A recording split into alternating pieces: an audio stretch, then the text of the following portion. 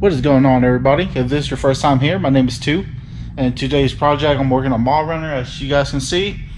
And so um, I'm finally dropped some money down and upgraded the uh, suspension on Mall Runner. So before, um, if you watched my previous videos, um, currently I was running uh, the Bilstein 5100s front and rear. And they are uh, the Old Man Emu spring with 3 inch lift. So I'm upgrading to the Dobinson. I went with the Dobinson IMS. Uh, I was debating on the uh, the MRA, but I feel like I don't need the adjustability of the MRA to to justify the price. So that's why I settled with the IMS. And also the IMS is uh, longer travel than the MRA, so that's also a decision why I went with this route. But yeah, so this these are the front shocks. Like I said, these are the uh, um, the IMS, these are the extended travel IMS and a coilover, so they're adjustable right here. The springs I went with is um, a two and a half inch lift. This is more closer to like the stock weight. Uh, the reason for that is that with, with the weight I have on this, it'll be more like a two inch lift. That's that's kind of what I wanted to go with was I wanted to drop in my height. Um, the stuff that I do being three inches that is more tippy. So yeah decided to drop down. So I will lose a little bit of ground clearance but um, I don't think it's gonna be an issue. So like I said the front are extended travel coilovers the rear these are the long travel. Uh, the IMS long travel they are eight inch longer than the standard equipment so these are super long shocks and then these are the variable rate um, springs for the rear. Uh, that's great for so my plan when we go back to Georgia is that I'm gonna unload all my camping stuff and have them in a trailer. So uh, that's why I'm going with these. If I do load it down then I have the um, the capacity to carry weight. But when I unload then I'm still fine. It's not gonna be super stiff. And uh, these are I think they're a two and a half uh, inch. So we'll see how it goes at the rear. With the way I have on now, the rear is taller than the front because I have front coilover. I can always just adjust it to get my height back. And um, yeah, while I'm at it, I'm doing uh, braided lines. These are extended braided lines uh, from Trail Gear. This is for the front, and then these are for the rear. Uh, the front, I don't need, technically need these, but Mall Runner has 311,000 miles, so they still the original, well upgrade. But the rear, I do need the rear for the long travel. So, yeah, that's the project today. Um, and I'm also, at the same time, I'm shooting a video on how to clear uh, bigger tires. Um, it'll be somewhere up here, the link. Uh, make sure you guys check that out you know, I get a lot of people that think, oh, you know, I got three inch lift or four inch lift. Can I fit bigger tires? Things like that. It's not really the case. So watch the video for that. Yeah, so when I order the uh, front Dobinson shocks, um, they ran out of the fourth gen and the wait time was like, I think they said like one or two months.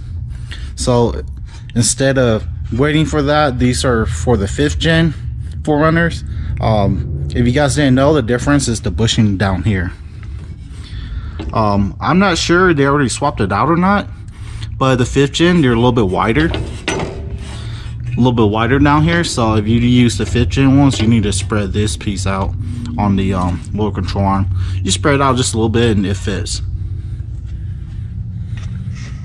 So, yeah, I'm not sure. Like I said, I'm not sure they replaced the bushing because because they were out of the fourth gen. Either that or the Dobinson sells the fourth gen, and then for it to fit the fifth gen, they give you spacers for it.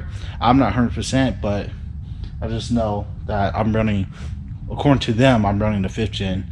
All right, so I got it, the shock fully assembled and it's on. As you guys can see, I still I had was just a little bit over um, a quarter inch before the shock bottoms out. So what I can do and what I'm planning to do in the future is get a little spacer, put it on top of the uh, shock. Um, doing that, it'll give me more down travel because it, you know, overall it pushes the shock down a little bit. but uh, you just want to be careful doing that. Uh, that's why you always want to check your bump stop. Um, is that if you use the shock as the bump stop, it'll snap right here. So you guys can, I'll put a picture right here. Where this shaft right here will bend because the shock will bottom out before um, the vehicle hits the bump stop.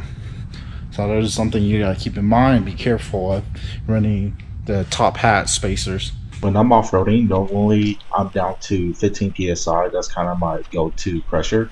But for this trip, uh, decided to try 25 up this obstacle and see how it does. And as you guys can see here, I was struggling for traction. And also, you will notice that the front tires are shaking. That's normal for these.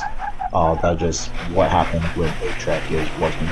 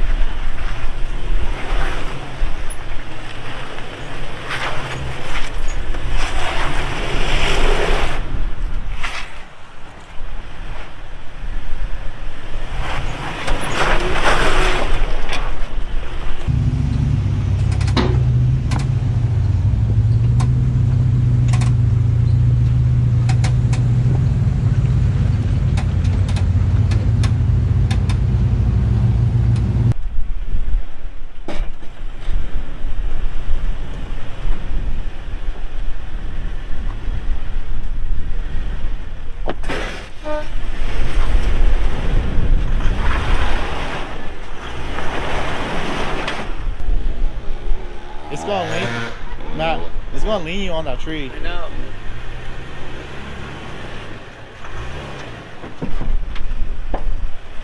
More passenger. Well, unless you're trying to climb this ledge. No, I'm just trying to get out.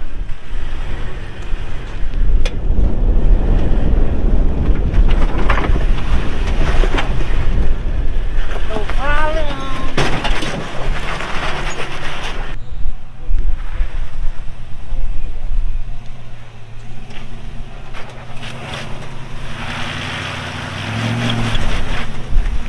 Passenger. Right there. Straight in. Too much. Straighten up. Right there.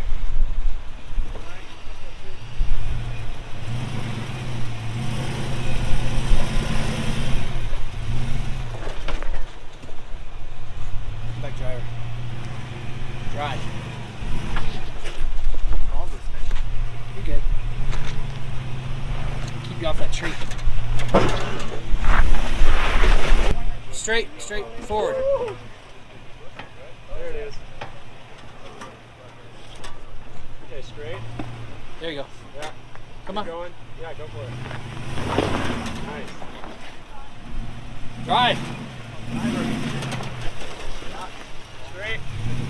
Crawl, man. Go for it. Go for it. Turtle. Yeah, just messing around and got a little bit too close to this tree. Barely. So decided to winch, winch off this other 4Runner right up there. Winch off of him so I don't get into this tree.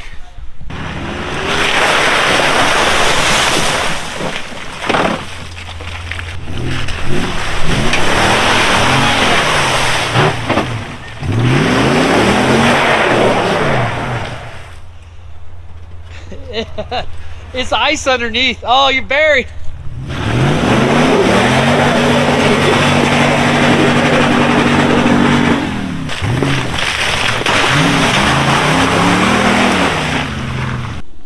Yep, so we just got done running the trail and we're back at the trailhead and everybody's about to start airing up. Well, that's it. Thank you guys for watching. See you guys again next time.